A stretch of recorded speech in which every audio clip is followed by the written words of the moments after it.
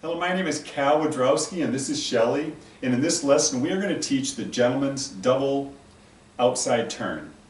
And the last few lessons we did fall into the category of intermediate for reasons I've mentioned before. And that's because we have to change up the footwork and we have to apply some of the things that we taught in lessons 16, 17, and 18. Well, the same thing applies for these next few lessons where we're going to teach a little bit more advanced gentleman's turns. These again I call intermediate because the lady has to change her footwork and the gentleman's doing a little bit more than just a single turn. So this particular lesson again is going to be the gentleman's double outside turn. Shelley, let's go ahead and show that. We're going to show the gentleman's double outside turn with a basic first and we'll show it from two angles. Ready and one, two, three, four, five, six.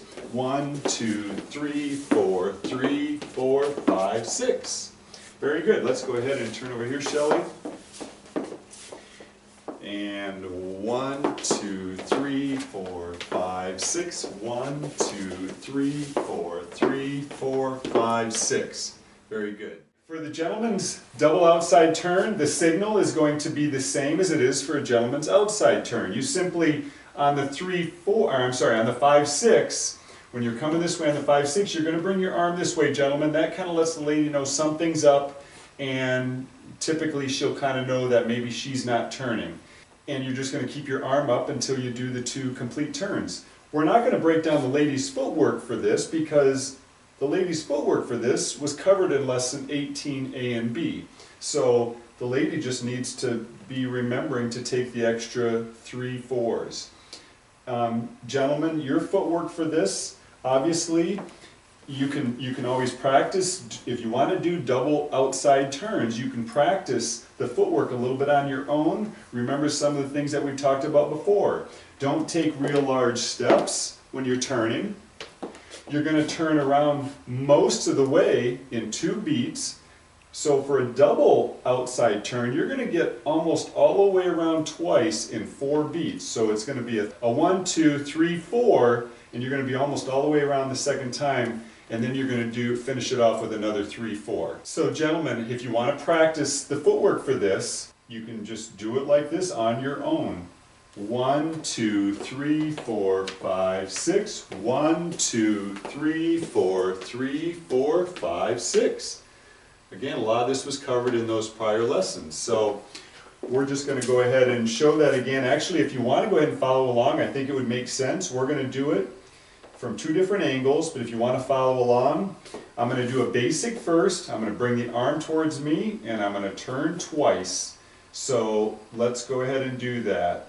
Ready and one, two, three, four, signal. One, two, three, four, three, four, five, six. Very good. We're going to go ahead and turn and do it from over here. I'm going to do a basic again first if you want to follow along. Ready and one, two, three, four, signal. One, two, three, four, three, four, five, six.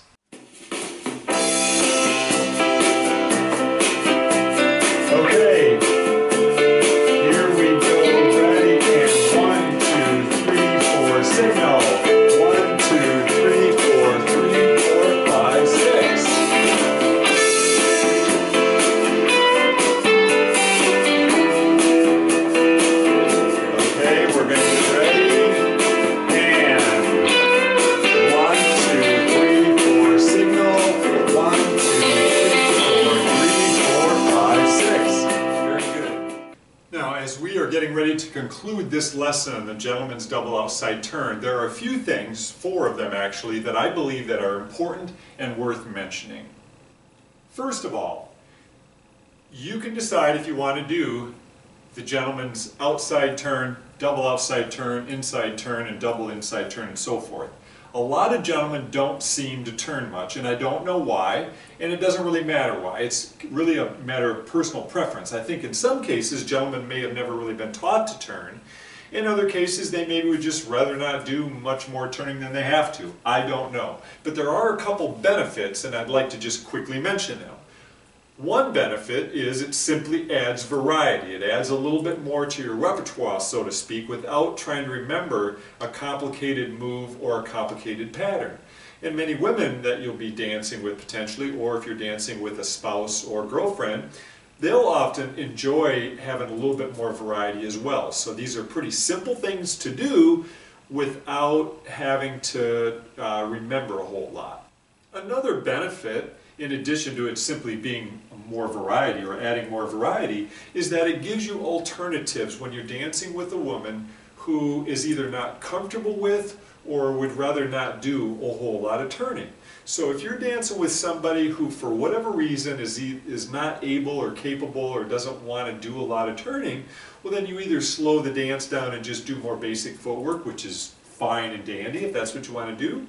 But if you want to learn to do more turns yourself as a gentleman, then you're again step, keeping things stepped up a notch without putting the pressure on the lady to have to try to keep up with doing a whole bunch of fancy stuff. So uh, there are times, that a number of women that I've danced with over the years that for one reason or another, I just know them and I know that they don't do real well doing one turn after another. So I can turn them, I can do a little turn myself and do something else with them and do some turns myself. And again, it adds that variety and gives me some options. Now the second thing that I want to mention is that because a lot of gentlemen don't seem to turn, I may have mentioned this when we taught the gentleman's outside turn, but gentlemen, when you're signaling one, two, three, four on the five, six, you bring your arm this way to go under it to do a regular outside turn.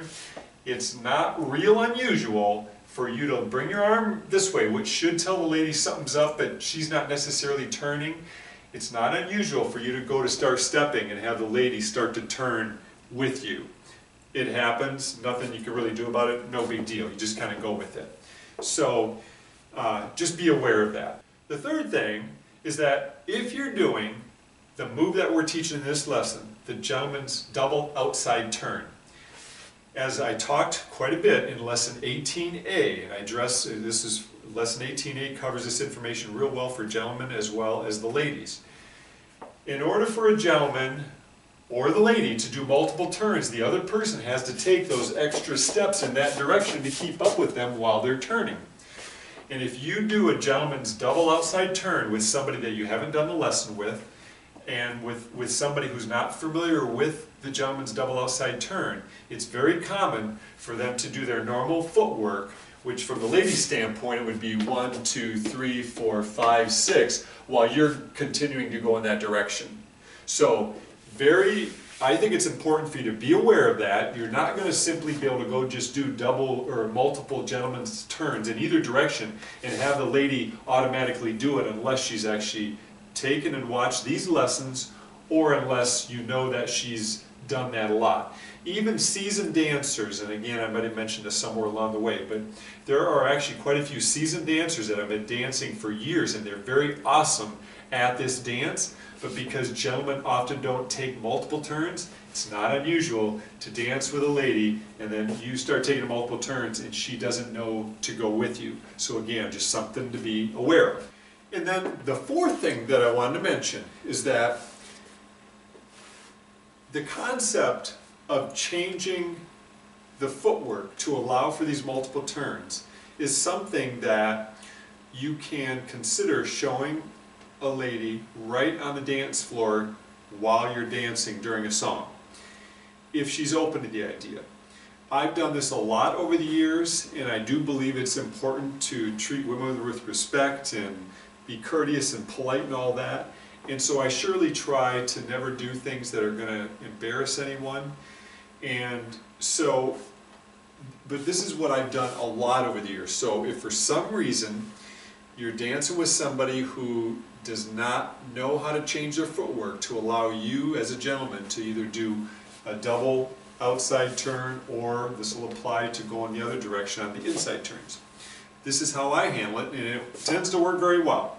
And as I do this, I do it in a way where if there are people in the place either dancing or on the sidelines, hanging out, some of them watching, for the most part, they're not even going to know that I'm showing her this because as the music is playing, I will sometimes ask the lady, would you care to learn something just a little bit different?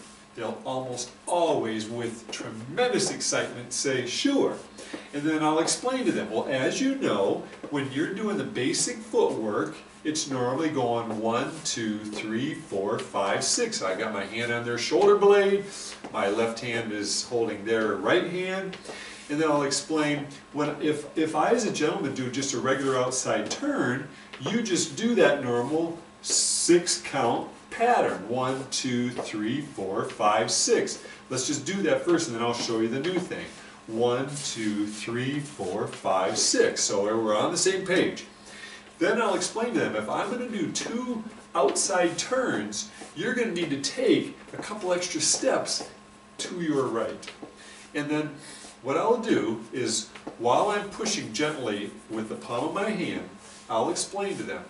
I'm going to help you, I'm going to show you here. And it's going to go like this. It's going to go one, two, three, four, three, four, five, six. And they'll almost always take those extra steps. Now you do want to be aware that from the woman's standpoint, as she is used to going one, two, three, four, five, she's normally getting ready to go back in this direction, so you want to watch as you're pushing her that it doesn't go one, two, three, four, and, and she's going back this way and you're pushing to her right.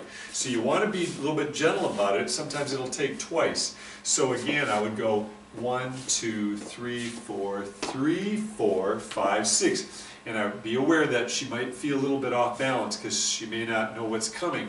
And then I'll go, let me just do that again. One, two, three, four, three, four, five, six. I go, very good, that's it. If you can do that while I turn multiple turns, then you'll be keeping up with me. Let's just try one more time here. And one, two, three, four, three, four, five, six. Is it you want to try that? She'll usually be positive and optimistic about the idea. I'll say, okay, here we go. I'm going to turn. Just take the extra three fours and and I don't normally count out loud as I'm turning, but I'll normally do the two turns, and more often than not, she will take those extra steps. As a matter of fact, as a gentleman, if you like the idea of even possibly doing three turns occasionally, you can even explain to her that as a matter of fact, if the gentleman kept turning, the idea would be just to keep going one, two, three, four, three, four, three, four, three, four, until he's done turning. And if you do that once with her, and then if you were to take several outside turns, one, two, three, four, three, four, three, four, five, six, she'll almost always automatically just go with the flow with that. So again, FYI, if you like the idea of doing multiple turns, it's something you can show the lady right on the dance floor, and if you're uh, polite and courteous about it, more often than not, they're open to the idea of learning something and you can kind of show them. And again, like I say, for the most part, people that might be paying a little bit of attention, that are on the sidelines, aren't really even going to necessarily know that you're showing her something new. So I will, as I'm explaining, I will be counting as I'm kind of nudging her along, but then when I'm doing the turns, I'm not counting out loud. She'll kind of figure that part out. So anyway, I felt that those things were a little bit uh, important if you're going to try to do these gentleman's turns. Okay, well that is the gentleman's double outside turn. Hope you enjoyed that lesson. And I do encourage you, I haven't said this for a while, but I do encourage you to try to practice things along the way. If you don't have a dance partner, there's a lot of this stuff, whether you're a gentleman or lady, there's a lot of stuff that you can practice on your own because if you just watch a whole bunch of lessons and then think you're going to go out and do it, it's going to be a lot harder if you're not practicing along the way. So I'd encourage you to do that, and uh, we sure appreciate you watching, and we will see you in the next lesson.